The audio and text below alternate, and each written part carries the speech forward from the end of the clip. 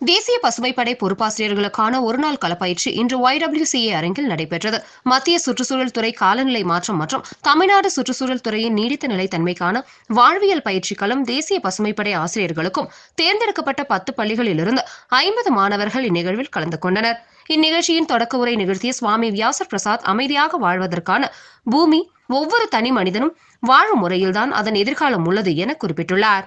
நிகழ்வினை தலைமையேற்று நிகழ்ச்சி தொடங்கி வைத்த மாவட்ட கல்வி அலுவலர் நந்தகுமார் பேசுகையில் இயற்கை பாதுகாப்பு மாணவர்களின் கடமை இயற்கை இன்றி எதிர்காலம் இல்லை என்பதனை உணர்ந்து மாணவர்கள் வாழ்க்கையை முன்னெடுக்க வேண்டும் என குறிப்பிட்டார்.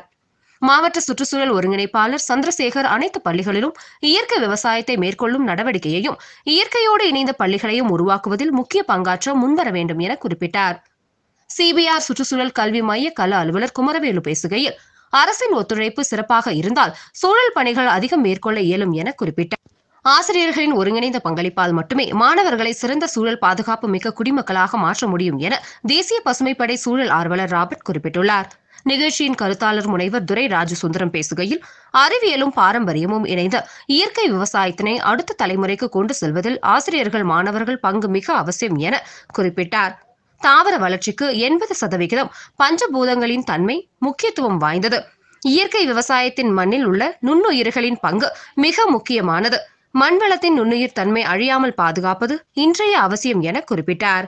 நீலகிரியின் உடைய உயிர் சூழலினுடைய எதிர்காலம் என்பது இயற்கை விவசாயத்தை சார்ந்து உள்ளது.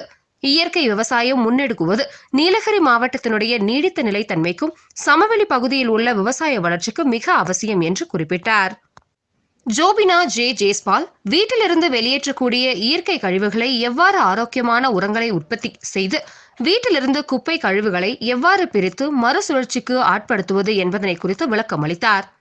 ஆனி தாமஸ் திரிபலாதி திரிகடுகு சூரணம் பற்பொடிகள் ஆரோக்கிய டானிக் இயற்கையான முறையில் தயாரிக்கும் அளவு மற்றும் எவ்வாறு தயாரிக்க வேண்டும் என்பதை குறித்து கற்பித்தார்.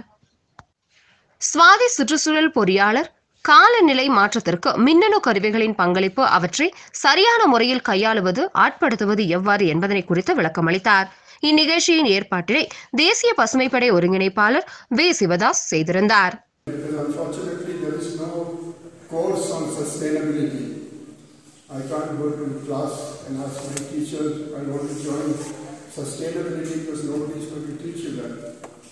We have to learn that for ourselves by being sensitive, by being by paying attention